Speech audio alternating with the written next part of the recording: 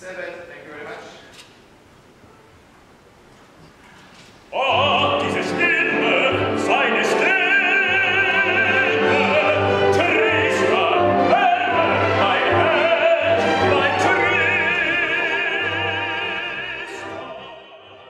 What is opera? Opera is uh, the total work of art, Gesamtkunstwerk, that wants to bring together different art forms, and here we are.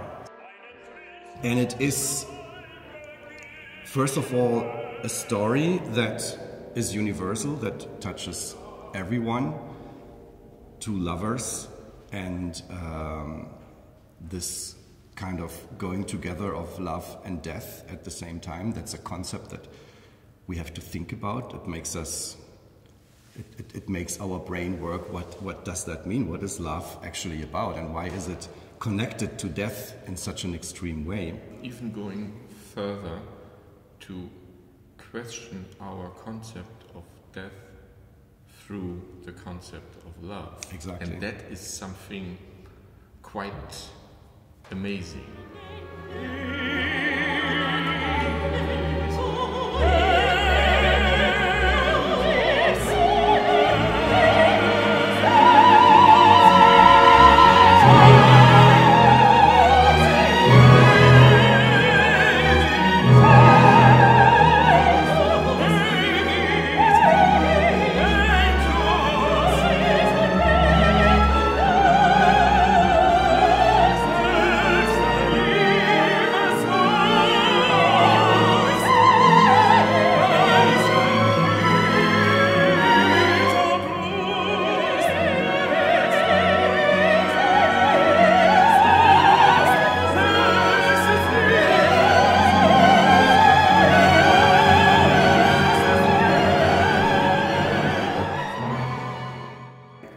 Mention the words uh, because this poem that Wagner wrote at first um, is, is very fascinating. It's, it's very interesting. The language that he invents is something unique. You don't find this anywhere else in German poetry or in, um, in, the, in the art of writing opera libretti.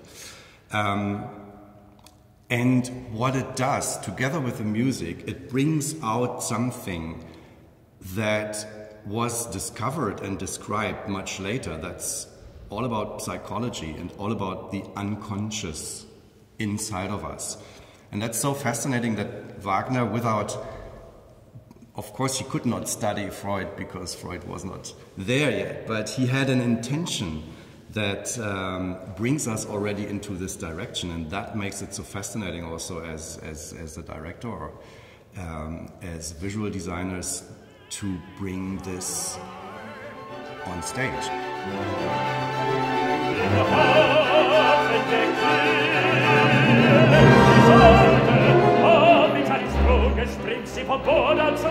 Hinab von der Strand, sie ist wieder gaffen. Hinab, hinab von der Strand, Hilfe, Hilfe, meine Frau. Sie trag ich herauf, trau meinen Armen, doch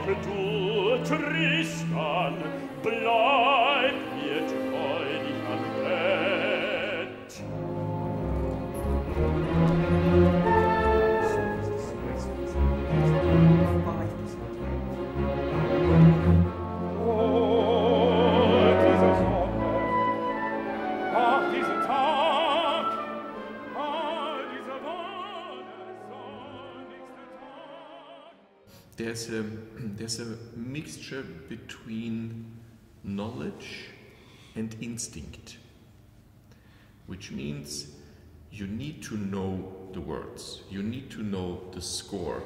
All this uh, you need to study, and then you need, in order to invent something that goes beyond what you can express with words and with other things, you need to trust the things that come that come to you in association, in a free association, quite specific in connection to studying the material.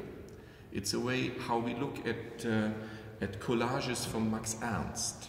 Yeah, they are um, on on the first view they are images and uh, thoughts mixed together that does not belong, but in the mixture they produce a higher truth.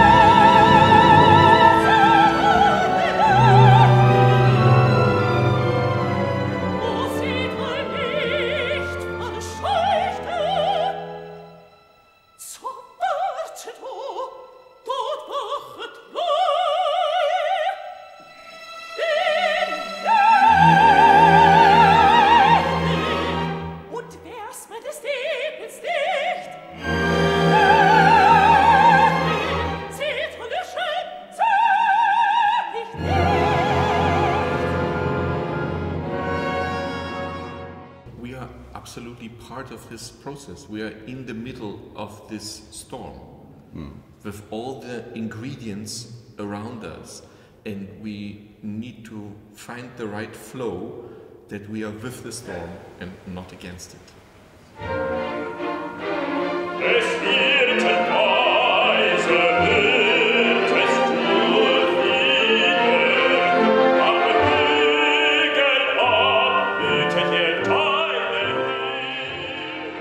Timeless piece. So time is important, yes, as a structure of that piece. Time is important as a phenomenon that also dictates parts of that story um, because time passes, but time goes back.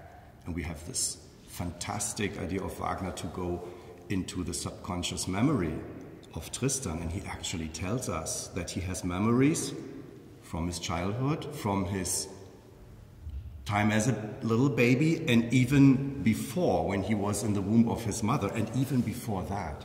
And then, in the, actually, in the same scene, he goes into the other direction. Where will this all go after his death? So, what a huge concept of time going into two eternal directions and maybe closing at some point. Uh, so that's, that's the important thing when we talk about time and Tristan and Isolde, much less the actual time of the medieval story or the time when Wagner lived, or even our time becomes less important when we see what this work can tell us about time.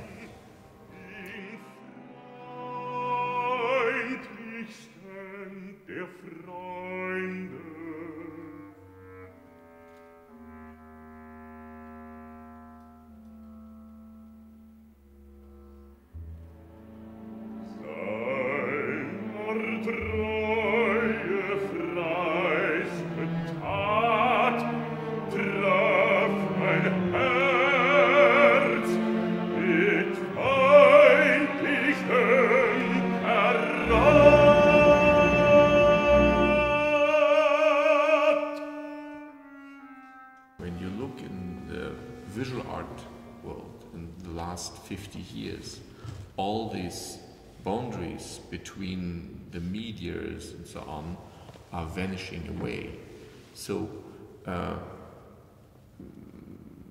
from it's already a step from sculpture to installation and then to installation with performers, installation including music and so on and so on. And so uh, all single art forms actually in their own fields merging more and more to an idea of Gesamtkunstwerk, which means in concert halls you have now uh, fantastic uh, creations like what Ralf did with Joyce DiDonato, where also other ingredients from total different art forms than the fantastic singing of the of Joyce uh, came together. So you have this in concert halls, and at the same time you have a winner of the Venice Biennale uh, who uh, made an installation which included performers, dancers, and dogs. So here we are, all on uh, uh, on the Wagner path.